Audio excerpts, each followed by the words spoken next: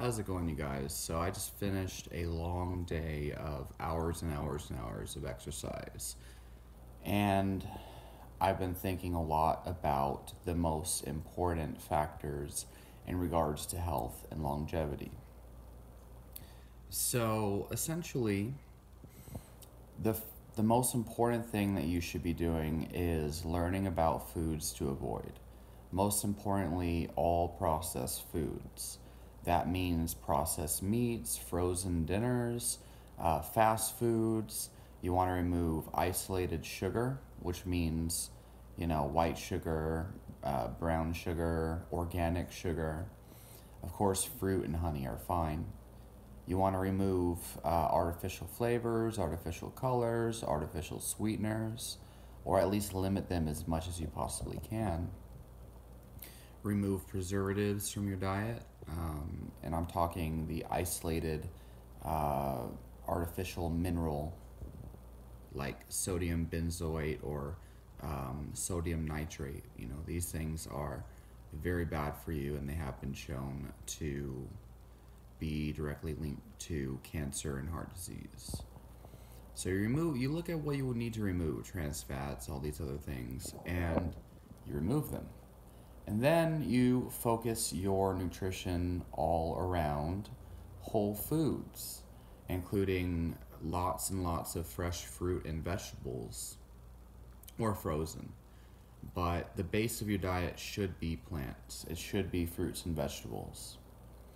And then from there, you can add nuts, seeds, legumes, and grains if your digestive system can tolerate it at first you're going to want to add these foods slowly because your body is probably not used to eating all the fiber and digesting these complex fibrous plant um, grains and whatnot.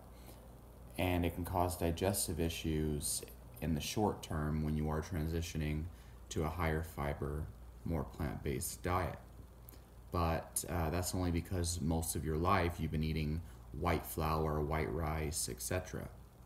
And so your gut bacteria needs to start to shift over to a more healthier um, form so that it can digest these plants for you. And so gas, bloating, and undigested food um, can happen if you don't do this slowly. But base your diet on plants. Um, that's a plant based diet, but also consume uh, high quality, healthy animal products. Now, if you're vegan, you're going to be triggered by that and you're going to disagree. But the science does not say to completely avoid animal products. The science says base your diet on plants, fruits, and vegetables, and remove or avoid processed meats, and limit your intake of saturated fats. Um, so, as long as you're eating within reasonable amounts, you should be fine. There is a ratio of fats that your body needs, and it does include saturated fat. And a, a, a small or a moderate amount of cholesterol is fine and is actually beneficial. When people remove animal products completely from their diet, they oftentimes run into multiple problems over the course of a few years, usually in the long term, but a lot of times in the short term, you know, people who go vegan, no matter how perfect they think it is, um, they run into issues. And the science doesn't say you have to remove animal products to avoid disease. The science says remove certain types of products in general, you know, um, uh, hydrogenated oils, vegetable oils, um, these types of things limit your intake of dairy products, etc., and you should be fine. So, base your diet on plants, but go ahead and eat high quality animal products like wild caught fish and um, grass fed organic meats, and even lean chicken. You know, if you don't have enough money for organic, you know, lean meats is going to be your better alternative, or you could boil out the fat because um, the majority of the toxins that would be in animal products are usually going to be stored in the fat. So if you get the lean, the lean version, or if you boil the fat out, then the majority of uh, the toxins that you'd be wanting to avoid are going to be removed because you're choosing the leaner option. So yeah, but you would probably be better off if you choose pasture raised animals, etc. So anyway, um, you want the more nutrition you get in your diet, the better, and the less toxic garbage you get in your diet, the better. Okay, you want to maximize nutrition and antioxidants, vitamins and minerals, and maximize fuel. You want to be fueling yourself. You should feel energized by your diet. You should be able to sleep well and stress. Uh, your diet should help you relax. Okay, the nutrition can support that. So if you're anything other than relaxed and energetic, then your diet probably is not is not doing so well. So next you have herbs and supplements. Um, there's a lot of herbs that can help increase your short short-term and long-term health, uh, including Panax ginseng in different forms, red, white ginseng, etc., Korean red ginseng. There's extracts, there's tincture form, um, there's certain types of mushroom like reishi, cordyceps, lion's mane. Um, there's a lot of these, but I have many videos on these different things, so you can check those out. Um, and they do make a significant difference. You can feel them in the short term and the long term.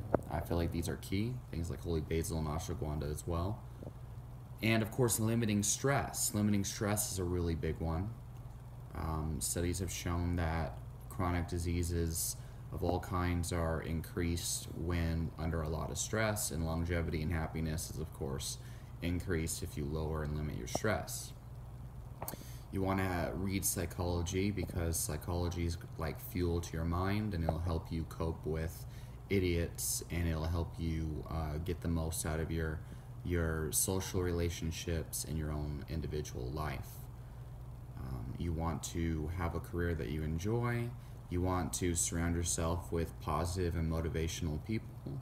People, you want people that understand, people that are reasonable and logical and rational, and people that make you feel good, people that you can laugh with, people you can have deep discussions with. Okay, you also want to have a lot of sex. You want to, um, you want to enjoy your life and not just fo- focus on quantity of, of years. You want you want quality of life and quantity, okay?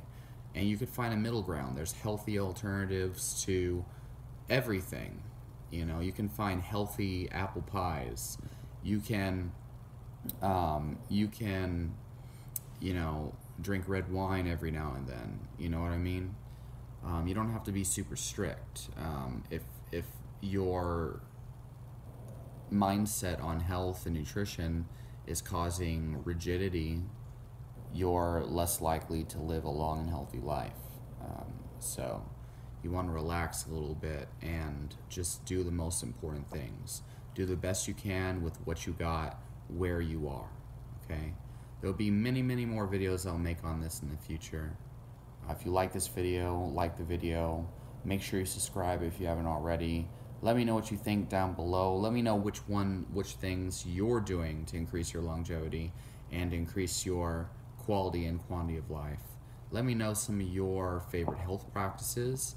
And if I miss anything, go ahead and put it down in the comments.